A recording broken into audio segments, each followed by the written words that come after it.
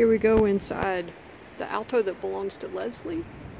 It's a 20B version of the F2114. Walking in here. We were very curious about the yummy factor and the sun right now is making this video a little hard to see but it indeed has the yummy factor. When you walk in, the dinette windows are just beautiful.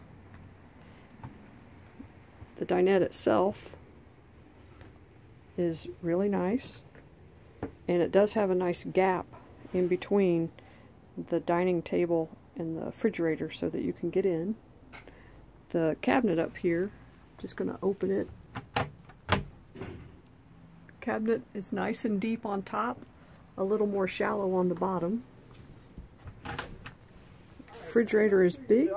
It's a three-way. What? They're not in the backyard? And here's the bathroom. Kitchen area. The optional microwave. Good space back here. We felt like it passed the yummy test. This wardrobe is actually a little deeper than what we expected. And the bathroom is nice. She's got these nice uh, hooks right there. She did not get the um, window that goes in the back. The drain is back there at the base of that curtain.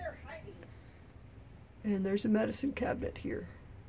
They've got the broom hanging in the bathroom. I think I'm done now.